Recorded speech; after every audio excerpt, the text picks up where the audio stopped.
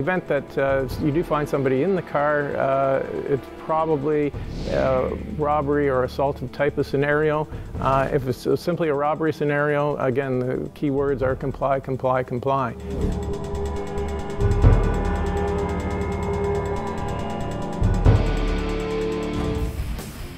You are nearly defenseless in your front seat if someone attacks from behind.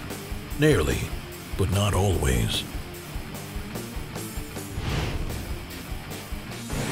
City Commando is brought to you in part by Um Magazine, the best magazine for men.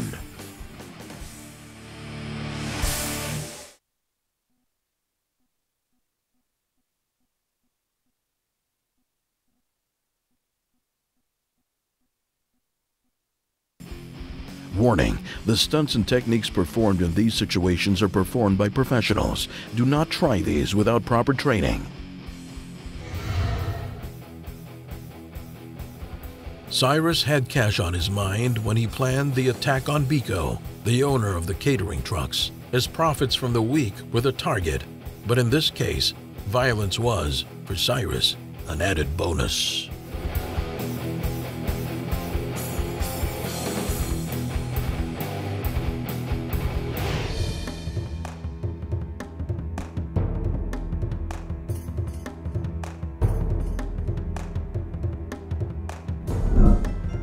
When you train with the Russian armed forces, a certain air of confidence surrounds you, as it does with Mikhail Volman, who came to North America via Uzbekistan, a breakaway republic from the old USSR. I was in the military, obviously, just like many other Russian um, people who came from, from those times. I served in a special unit, and um, I wish I knew a little bit more about Systema at that time. Volman trained in many of the martial arts before he found Vasiliev, the renowned practitioner of Systema.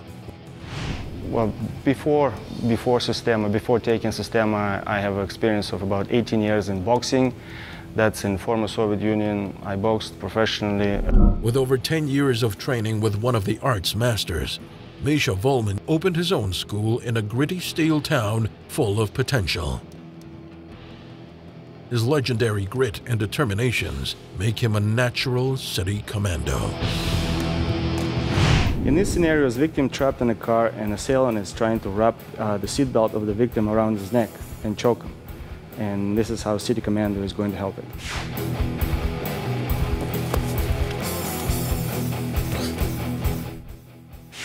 Step 1. Drive elbow to chin. As a Systema practitioner, you have to relax yourself completely. Shift to the opposite side, which allows you, which gives you a little more space to bring your ha hand up, and the elbow goes right into the assailant's chin. So you exhale, relax, and move, shift to the side, away from the attacker. By doing that, you release and, and uh, give yourself some space for the elbow and the shoulder to go up. That allows your, your elbow to hit the attacker right in the face or the jaw or uh, teeth. The assailant is attacking the driver and holds the power. The minute the driver strikes a blow to the assailant's central nervous system, that nervous system has to then make its own decision of whether it's going to fight further or whether it's going to play possum. Step 2. Strike arm and grab head. And the same elbow you bring down, bringing assailant closer to yourself with your two hands. You grab him by, by his ears and by the head and bring him forward straight into the, into the steering wheel. And here he's gonna be under your complete control.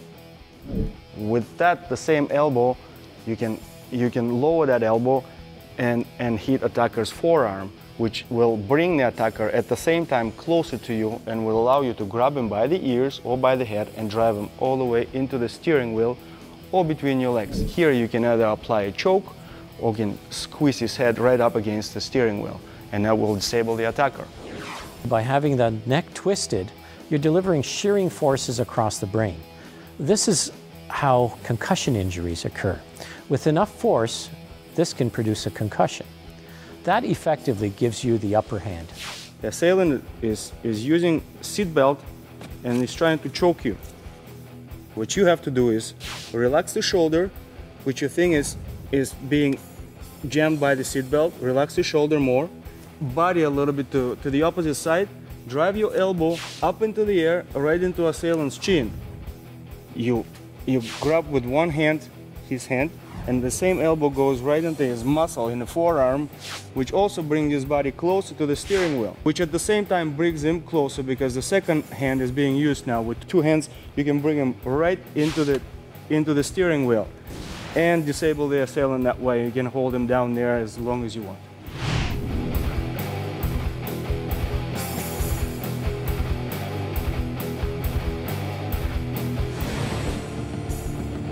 When you can't walk away, the City Commando way.